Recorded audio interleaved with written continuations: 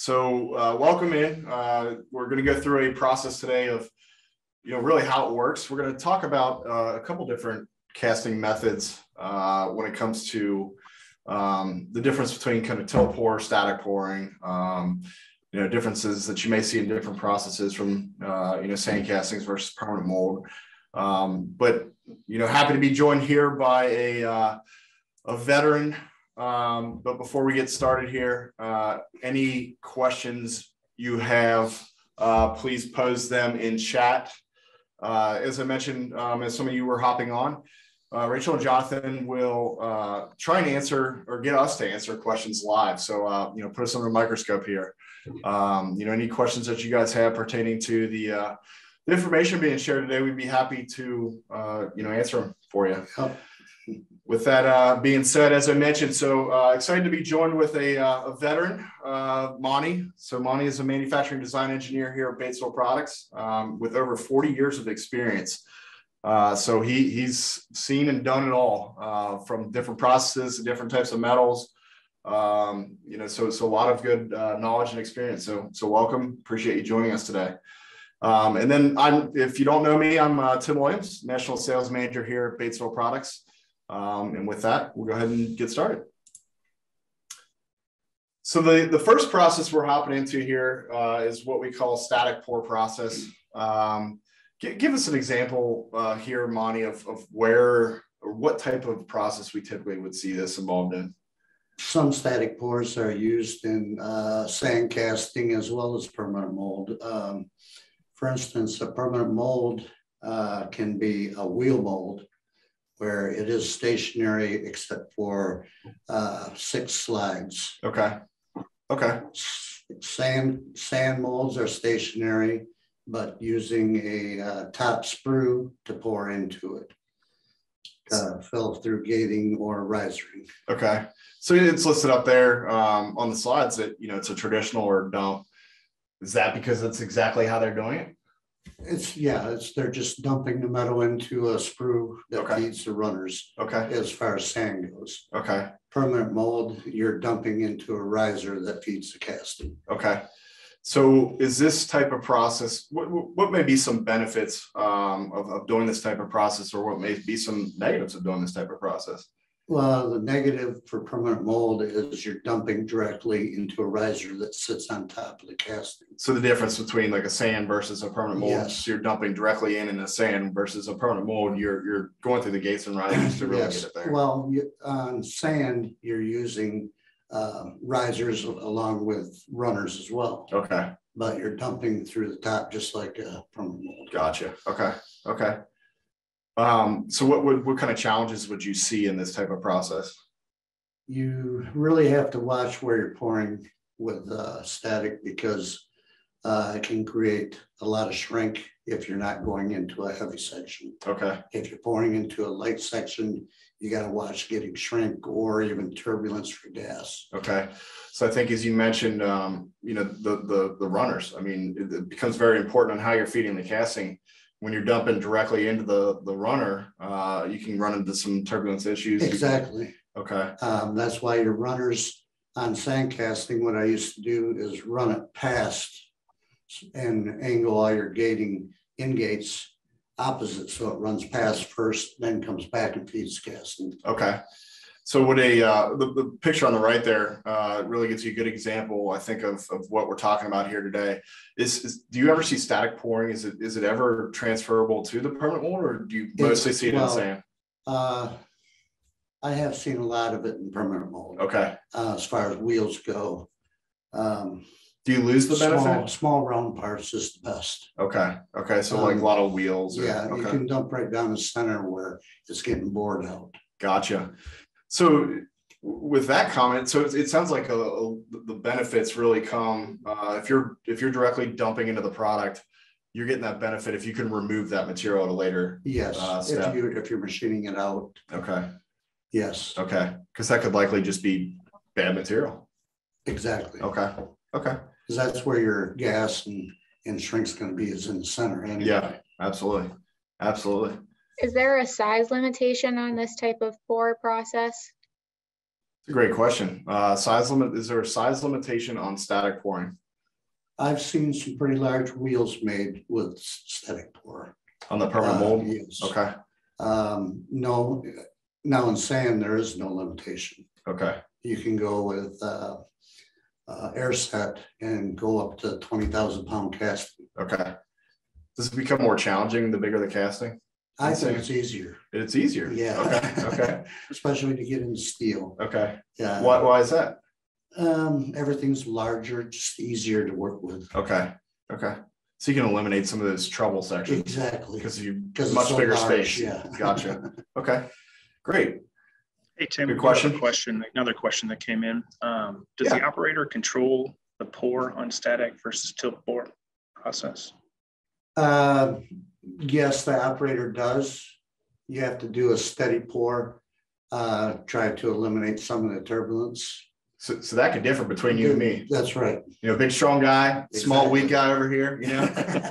Uh, so that, so on a static pour, the, the pour rate, I mean, it's, it's all based on the operator. Yes, Okay. Interesting. Good question. and a lot of your larger castings, it doesn't depend on operator. It depends on the, uh, ladle itself. Um, cause you're actually dumping a portable furnace versus a- Sure. a hand ladle. Okay, so they're, they're using more of the automated, uh, pot size ladles to dump the metal versus you or me trying to, to dump it and control Monty and I, I've, I've which would be a problem. we've done up to twenty thousand pounds at a pour. Okay, okay, wow, it's a lot of metal. It is.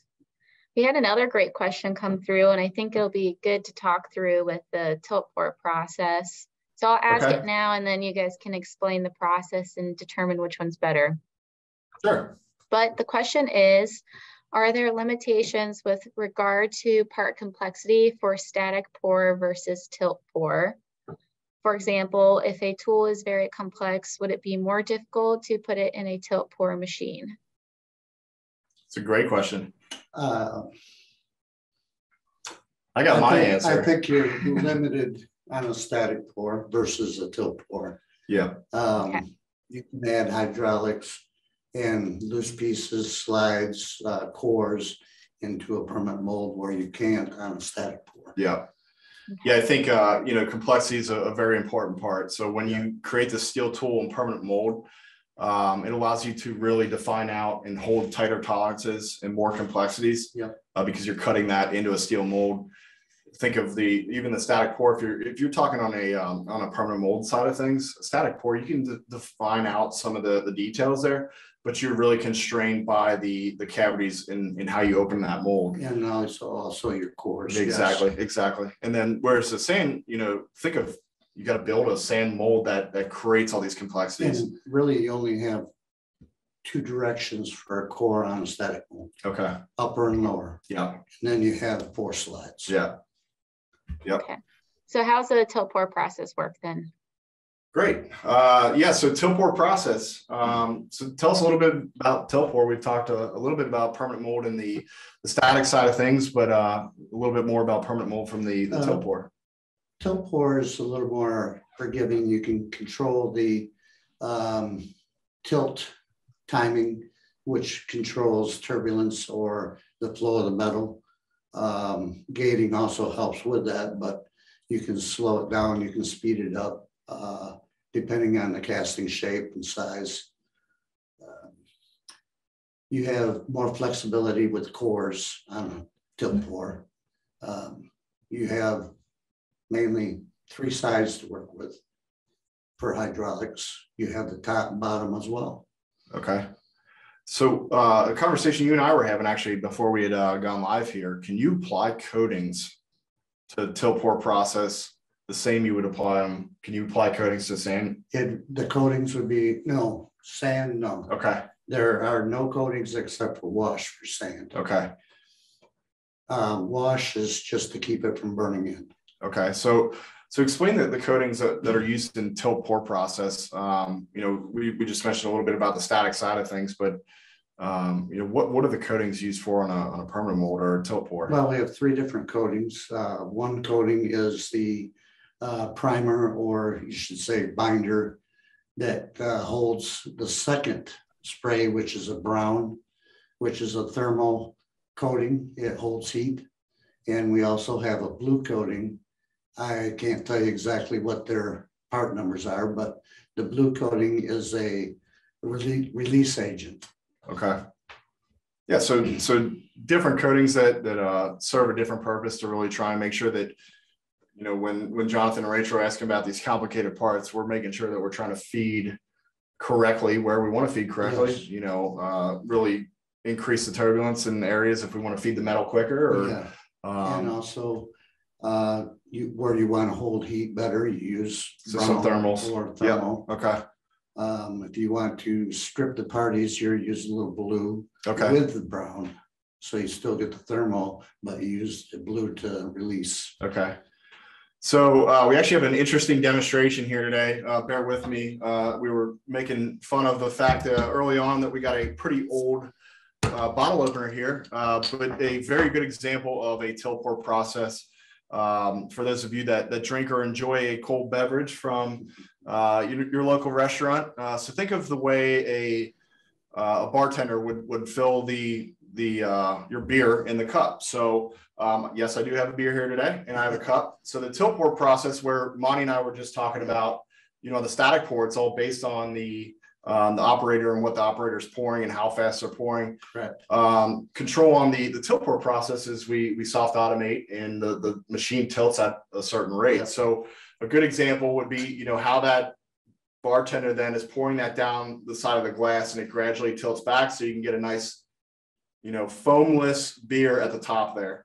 And then your part sets, and then when it's ready to eject, tilts back. And I'm not going to do that because I don't want beer all over the table here. um, but it'll tilt back, and then you can eject the part. Uh, so on on tilt pour processes, there is a benefit of um, the machine controlled side of things. Uh, again, you know, soft automation or even automation, uh, um, you know, that, that's being used across the industry as well to help assist and even from the pour cut perspective, you know, the amount of metal that's being poured as the machine tilts backwards there. So uh, that's a good way to think about it. I know our, our team here uses that quite a bit as a uh, as a example. Um, so so definitely a good way to to look at that there. I have a question for you guys. Absolutely. So based off of um, the tilt pour process, you control the speed and the angle in which you pour the metal into the gates and risers to fill up the part. Does it change based off of the geometry, size, and weight of the part? It does. Every, every part is different. Okay. Yeah, another, another way we, we explain um, the process is that it's it's custom, right? So if if you're coming to uh, our team or any team, they should be asking questions around uh, the different complexities that go into your part, the the different types of surface finishes, where you're looking for those, um, tolerancing from a machine perspective afterwards, tolerancing from a cast perspective. Um, you know, a lot of times there's there's uh, companies out there that have parts that get hidden, so you don't really need Exactly. great surface finish in certain areas. surface, Um, and they'll even allow a little porosity here. and there. Yeah, absolutely, absolutely. So yeah, it'll still be a very dense casting because it's Correct. using the tilt pour process. Um, but a lot of the the surface finish, you know, secondaries, you know, could be eliminated because they don't need it. Whereas there are some industries, so you know, you get a lot of it in food and medical that That's- high surface That's one reason why you use uh, permanent mold versus sand. Okay. Because of properties, metal properties. You Sure. get Better properties with permanent mold. And, and you see a lot of that again, you know, in the medical and the, the food equipment side of things. Um, you know, if you think of the FDA, they, they got to control you Sure. blood getting stuck somewhere or food food particles getting stuck within equipment. And that's just not uh, something that passes. So a dense casting from a tilt pour process is a good route to go. Good question. Hey, Tim, while you're talking about turbulence, there was a question that came in about the porosity difference between static and tilt pour. I know we're getting into porosity a little bit later, but um, I just wanted to kind of talk about that, why we still have this slide up. Yeah, so um, we, we had actually a really good uh, previous webinar, Johnathan, on, on that topic, uh, the difference between porosity, uh, gas entrapment, uh, different types of, of porosity or Yeah. imperfections. Um, I would say the, the best answer to that question would really be sharing that uh, with that individual afterwards. Um, because there's a lot that goes into that. Um, being custom parts, every every part flows a different way. Every part's gated, or Yep. Um, you know, You're, you're more apt to get more gas with a static pour than you would a tilt pour. is that due to directly feeding into Yes. the, the pork the And the more time you have in the atmosphere, the more gas you're gonna collect. Okay. But Johnathan, uh, uh, to further answer that question, if it's an individual, make sure we uh, get that that person's name and we can share that information afterwards. Sounds great. So on that, thanks for the uh, the softball there, Johnathan. Um, yeah, so so tilt pour process again, you're you're controlling it, right? So with control uh, comes being able to solve out some of the the issues or the problems that we could run into. Yep. Um, Less turbulence, less gas if possible. yep. That depends on your furnace too as well. Um, The coatings, uh, we're working on better coating, not we, but people are Industry, working yeah. on, the industry is Yeah. working on better coatings. And I think I think with even with the uh, with the the controlled process, um, you know, as we were mentioning different industries and and you, either the parts hidden, not hidden, they Right. they they can deal with a little bit of porosity. I think what's nice about the, this process as well is you can control where you put it, Yes. right? So, You, um, you can move, uh, shrink or porosity yep, by using chills or you can never get rid of it, but No. you can move it. Yeah. yep, yep, yeah. So you could you could put it in in the gates, Sure. right? Or the Push it. Yep, absolutely.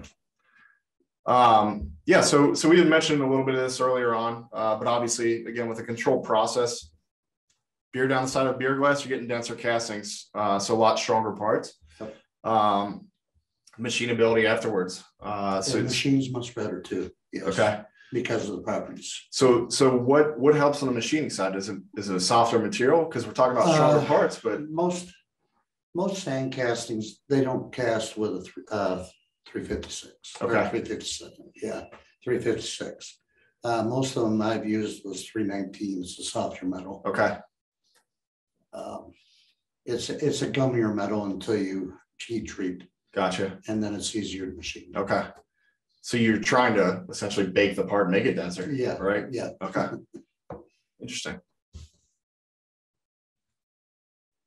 Uh, so, so here's a good example. Um, we just talked about how essentially we can move, you know, in a tilt process, Yeah. you can move the, the issues out of the part. Um, so this is part of what we do here, uh, but it's seen across the industry. A really, it's a way to, to digitally solve problems before you cut into the tool. Um, and it, we recommend it. I mean, we do it with every single tool that comes through here. Uh, but it's not to say it solves everything because you get into the process and now a- you're in the real world. It's a, right? good- it's a tool. It It gets is. you started, it gives you a good start point. Absolutely.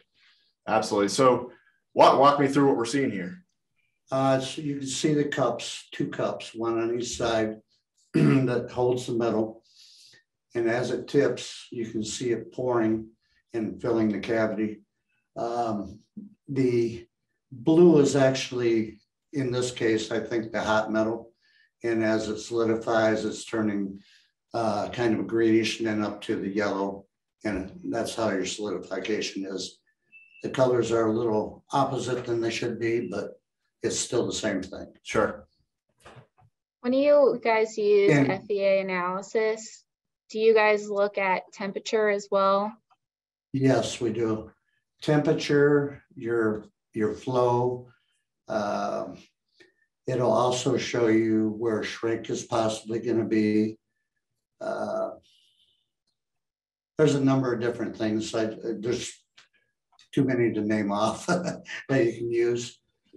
Yeah, Uh, it, you know, it's it's a great, uh, as Monty mentioned, it's a great tool. Yeah, Um, it's, you get in the real world, and obviously, different different environments control different yeah, things. it's you know, not, it's not a Bible. You can't go hundred percent off of this. exactly, exactly. I mean, you can get out, and it could be a hot, humid day, and that could change things, or it could be frigid. You know, we're going through winter right now. It could be a different temperature in the the facility. And we, we are going through this right now. Absolutely, absolutely.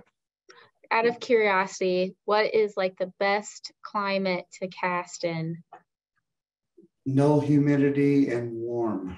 War, okay. I was gonna expect you to say cold. Best.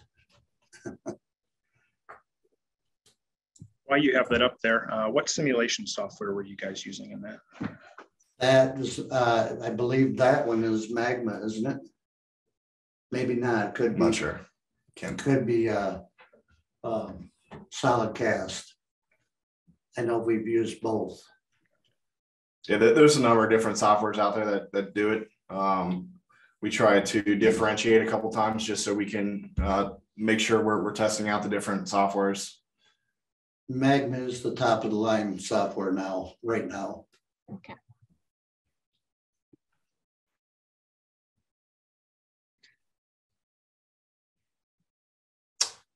So last process, it's almost like, a, it's tilt. it's almost like a mixture of both, right? It is a mixture between static and, and tilt pour, Okay, basically.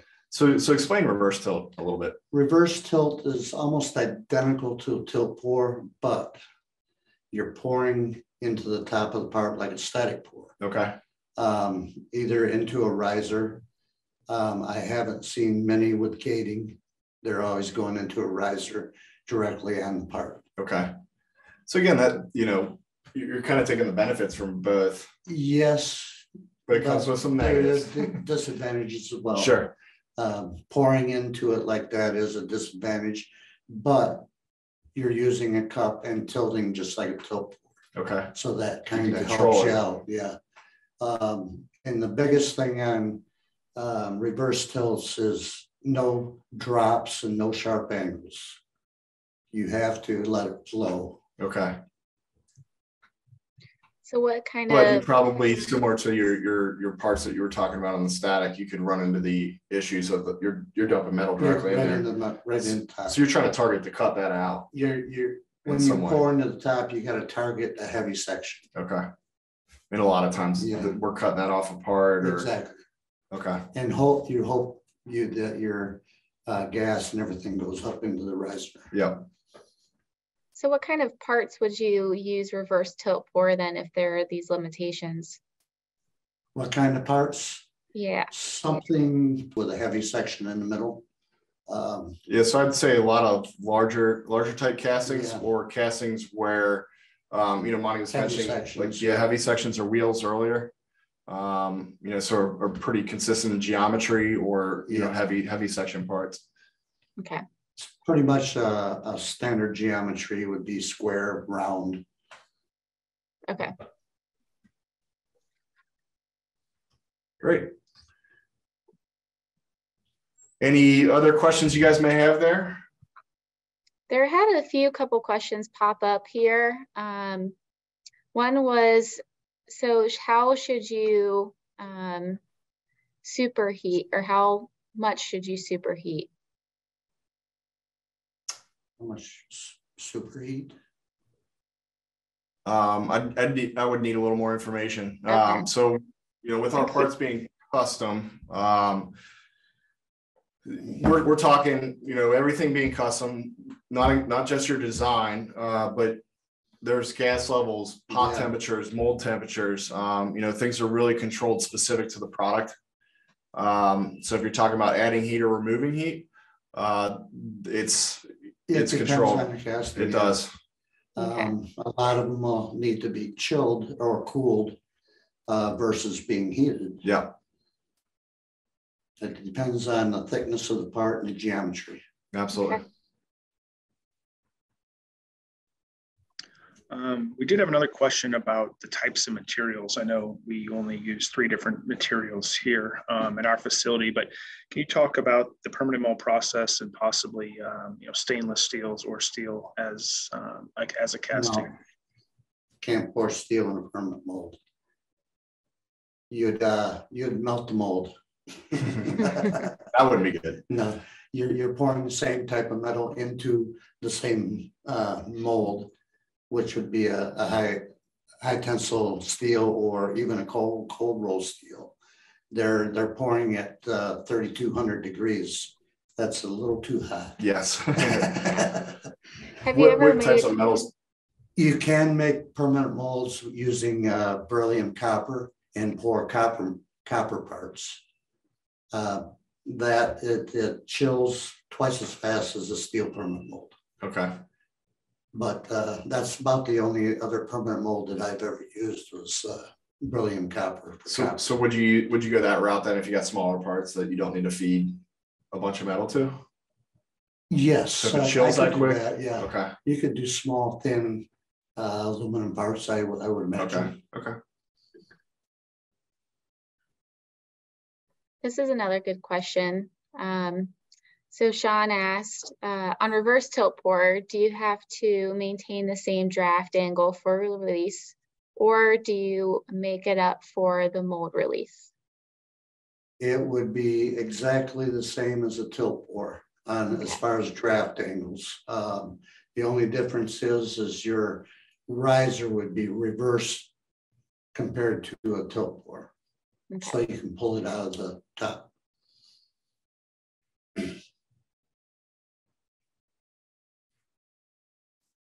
Great.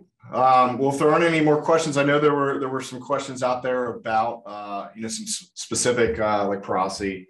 Um, you know, so if, if you have additional questions, feel free to reach out directly. I know Johnathan had taken down that question. We'll make sure we get the uh, the previous webinar over to you on those defects, uh, what to look out for. A couple uh, different articles or, or podcasts or even webinars that are listed here um, that have some interesting tips and tricks. Uh, you know, my favorite right there in the middle, Engineering's Guide to Metal Casting. Um, really understanding, we just hit on it, but not in a lot of detail, the, Yeah. the draft angles you're looking for, um, how you feed apart, uh, different sizes that go into Yeah. different processes, things of that nature. So um, there is a, a white paper that that goes with that, but that is a that's a one of my favorites right there. Um, with that, uh, we'll let everybody go and hope uh, you learned a lot today on our, our webinar.